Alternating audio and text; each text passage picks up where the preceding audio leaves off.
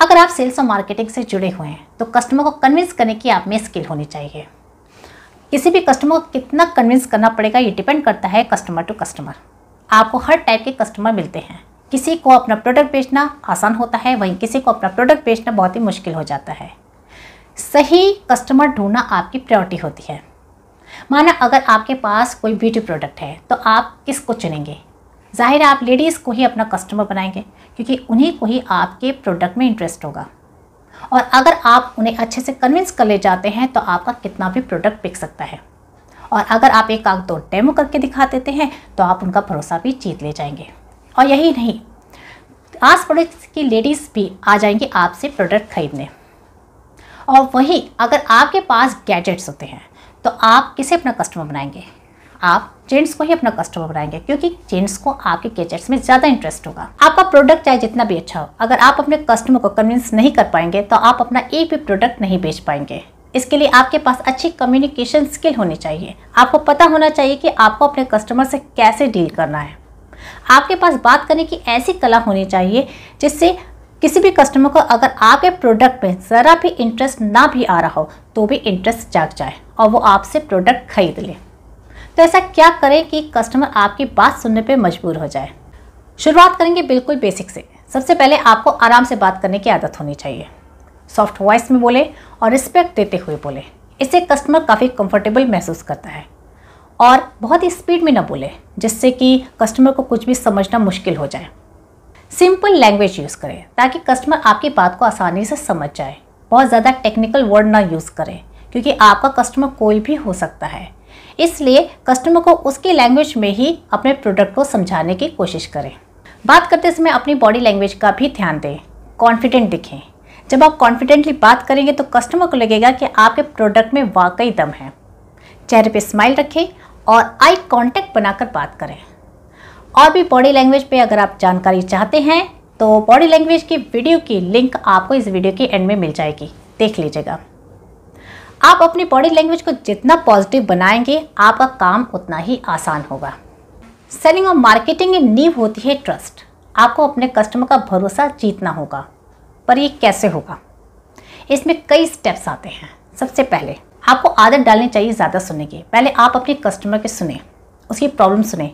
ये जानने की कोशिश करें कि उसकी क्या नीड है, क्या डिमांड है, और ये तभी हो सकेगा जब आप कस्टमर को अपनी बात पूरी करने देंगे।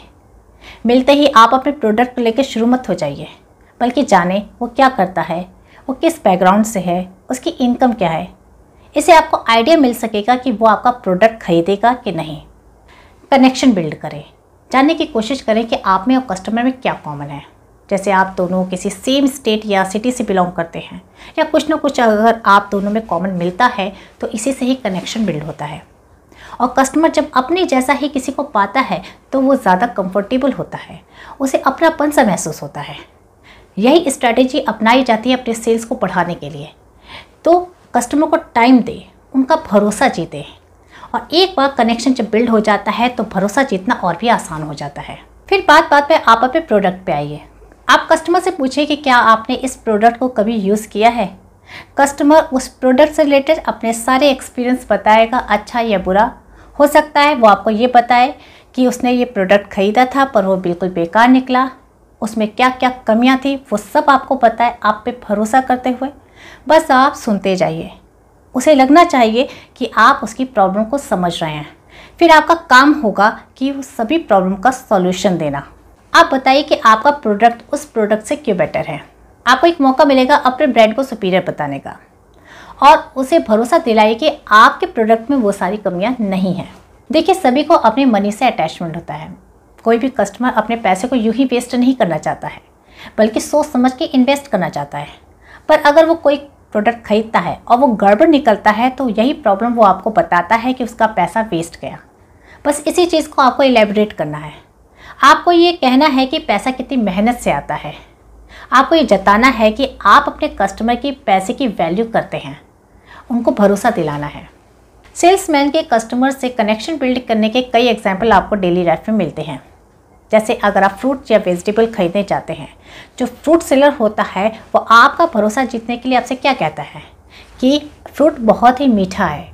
भरोसा नहीं है तो काट के उसी वक्त आपको खिलाता है। ये एक तरीका होता है अपने कस्टमर का भरोसा जीतने के लिए।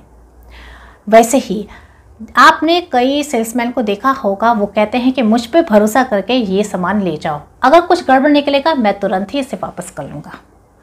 कहने का मतलब है कि अगर आपने अपने कस्टमर का भरोसा जीत लिया तो आपका 90 परसेंट काम हो जाएगा। आपका प्रोडक्ट उस वक्त बिके या न बिके, लेकिन अगर आपने भरोसा जीत लिया तो ज़रूरत पड़ने पे वो आप ही को कॉल करेगा।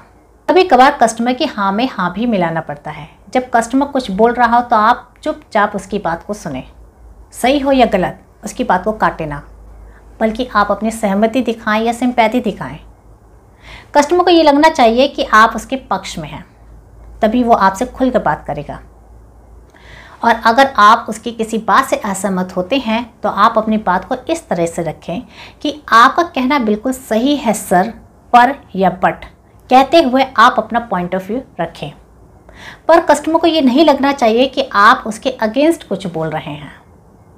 पर आपका प्रोडक्ट वाकई अच्छा होना चाहिए।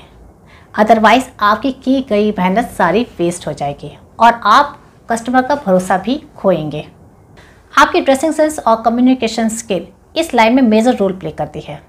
आपको वेल ड्रेस रहना चाहिए और अपनी कम्युनिकेशन स्किल पे ध्यान देना चाहिए। आप में बात करने की कला होनी चाहिए। इन्हीं दोनों से आप कस्टमर को इम्प्रेस कर पाते हैं। अपने प्रोडक्ट की सही सही जानकारी दें और इसके बेनिफिट्स बताना न भूलें। क्योंकि कस्टमर को प्रोडक्ट की डिटेल से ज़्यादा बेनिफिट्स को जानने में ज़्यादा इंटरेस्ट होता है।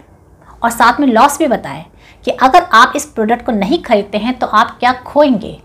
लोगों को कुछ भी खोने का भी ज़्यादा डर होता है।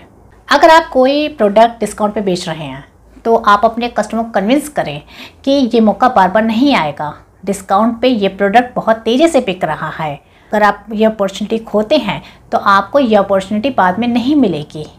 इस तरह से बात करेंगे तो कस्टमर को ये लगेगा कि अगर वो ये प्रोडक्ट नहीं खरीदेगा तो उसका बहुत बड़ा नुकसान हो जाएगा। जब कस्टमर से बात करें तो आप वी या हम शब्द का भी यूज़ करें, जो कि ये बताता है कि आप कस्टमर को खुद से अलग नहीं देखते हैं। जो कस्टमर फील करता है, वही आप भी फील करते हैं। सेम प्रॉब्लम सभी को होती है। फिर चीज़ों को रिलेट हम कर पाते हैं। जब कस्टमर को आपके प्रोडक्ट की कोई ज़रूरत नहीं होती है या उसमें कोई इंटरेस्ट नहीं होता है तो आप दूसरा प्रोडक्ट बताते हैं। और जब वो भी नहीं पसंद आता है तो आप तीसरा बताने लग जाते हैं और इसी तरह से आप एक एक करके बताते जाते हैं। इससे कस्टमर और भी ज़्यादा कन्फ्यूज़ जाता है और कुछ डिसाइड नहीं कर पाता है, फिर वो आपका प्रोडक्ट नहीं खरीदता है। बल्कि आपको कोई दो बेस्ट ऑप्शंस ही बताने चाहिए। और ये कहते हुए कि आपके नीड्स को जानते हुए आपके लिए ये दो बेस्ट ऑप्शन है। और फिर कस्टमर को डिसाइड करने दें। अगर कस्टमर का भरोसा जीतना है तो फेस टू फेस मीटिंग के लिए ट्राई करें। फ़ोन पे प्रोडक्ट सेल करने की कोशिश ना करें, बल्कि उसे मिलने के लिए कहें। जब आप पर्सनली मिलेंगे तो कस्टमर को आप पे भरोसा हो सकेगा और आपका एक से ज़्यादा प्रोडक्ट भी सेल हो सकेगा। अगर कस्टमर को आपके प्रोडक्ट की बिल्कुल भी ज़रूरत नहीं है तो आप ज़बरदस्ती ना करें।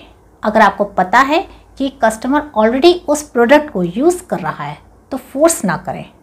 या अगर कस्टमर को उस वक्त उस प्रोडक्ट की बिल्कुल भी ज़रूरत नहीं है तो आप कन्विंस भी ना करें, बल्कि अपना कॉन्टैक्ट नंबर दे दें कि ज़रूरत पड़ने पे वो आपको कॉल कर सके। और वहाँ से चले जाएँ ये कह के कि अपना कीमती वक्त देने के लिए धन्यवाद। तो ये था आज का वीडियो। अगर आपको इस वीडियो से थोड़ी भी हेल्प मिलती है तो आप कमेंट करके ज़रूर बताइएगा। अगर वीडियो पसंद आए तो लाइक कीजिएगा और लोगों के साथ शेयर भी कीजिएगा। और इस वीडियो के एंड में और भी वीडियोस की लिंक मिल जाएगी, उन्हें भी देख लीजिएगा। Thank you for watching